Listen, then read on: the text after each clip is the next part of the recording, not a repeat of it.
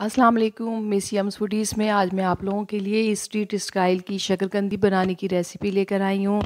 बहुत आसान और सादा तरीका है और जायका बिल्कुल स्ट्रीट स्टाइल की तरह, जैसे सड़कों पर रेडी वाले कोयले में या गरम बजरी में बनाकर आपको देते हैं।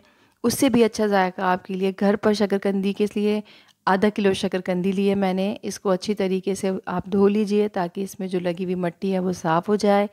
फिर इसको पाँच मिनट के लिए सुखाने रख दीजिए, स्टे, स्टेनर में रख दीजिए या किसी छन्नी में रख दीजिए। जब ये अच्छी तरीके से ड्राई हो जाए तो फिर एक देगची लीजिए। ख्याल रखिएगा, जितनी शकरकंदी है उससे बड़ी देगची होनी चाहिए। हमने जो है वो दो टेबल स्पून जो है वो ऑयल लिया है। अब हम देश, देगची यानी पतीली के पेंदे पर ये ऑयलिंग जो है वो कर देंगे। ग्रीसिंग जिसे आप लोग कहते हैं। अच्छे से लगा दीजिएगा। दो टेबल स्पून लिया है इसमें हमने।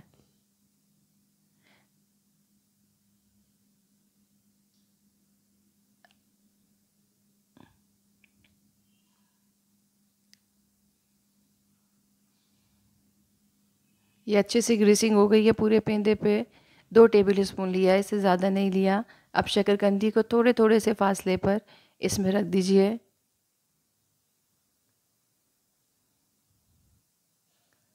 देगची का ढक्कन आप ढक दीजिए।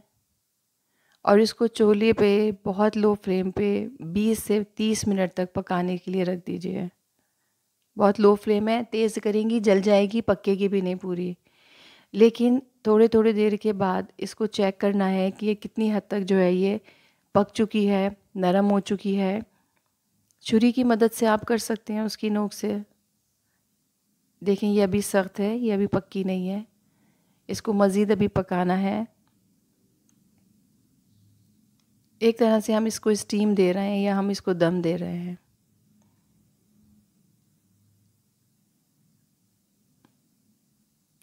अब देखें, इसका कलर भी चेंज हो गया, क्योंकि थोड़ी सी ये तेज़ आँच उसमें पकने लगी है।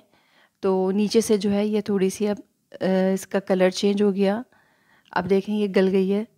मगर अभी इसको मज़ीद नरम करना जो है, वो बाकी है। अब इसमें यह करना है, अब ये थोड़ी सॉफ्ट होने लगे तो अब इसकी डायरेक्शन चेंज कर देनी है। जो हिस्सा शकरकंदी का पेंदे की तरफ़ था, उसको ऊपर की तरफ़ कर दें, क्योंकि देखें, यहाँ निशान आने लगा है।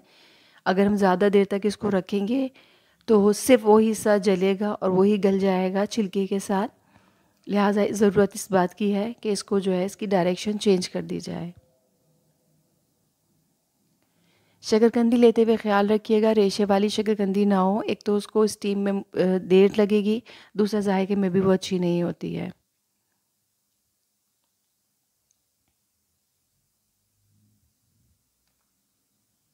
देखें कितने अच्छे से शकरकंदी गल गई है, बहुत नरम हो गई है, सिर्फ़ हमने स्टीम में पकाया है।